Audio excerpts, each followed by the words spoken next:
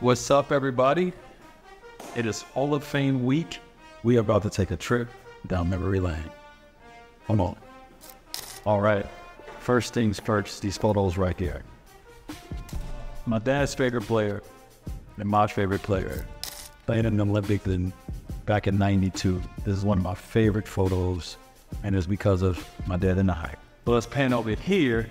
Got an opportunity many times to meet Michael Jordan, but this was the first time that I can say I was on the same team as Michael Jordan. This is the top 75 um, class right here. When MJ came in, you can see my reaction. I'm happy and I'm excited. I'm shocked at the same time. But to be able to have this photo with my favorite player, one of the reasons I play basketball, I cherish this. This is an amazing photo. And speaking of photo, captured by Bob Metelus, my videographer, photographer.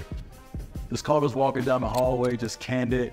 Hall of Famer, one of the greatest ever played in LeBron. Hall of Famer Ray Allen, Hall of Famer Chris Bosh.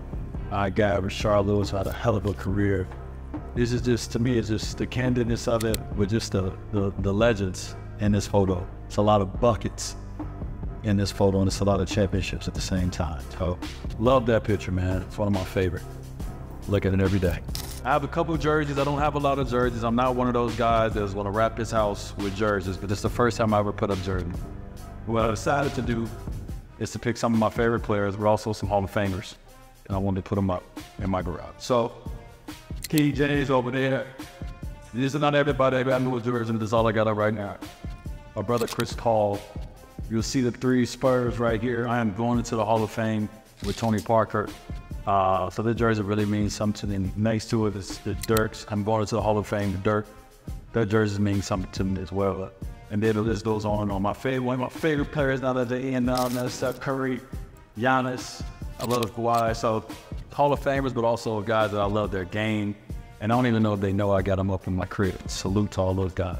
If you're an athlete, the goal is to one day take the trophy and put it over your head. That means the ultimate success. To be blessed enough to have 2006, 2012, 2013 NBA championship trophies. I look at it every day. Also, 2010 All-Star Game MVP, 2006 Finals MVP. I just kind of come out here and take it.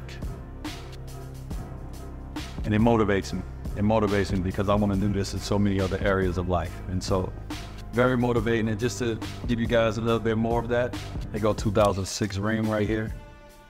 They go especially for you guys. This is 2008 USA Olympic gold medalist winning team, special team, a redeemed team. We actually won a, we won the documentary, an Emmy for documentary as well. That's sitting right here. Another one from Netflix for our Emmy.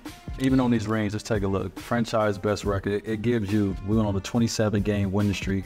We had 66 wins that year. It just, you know, this is just moments I get to comment, I get to share with my kids, share with my friends.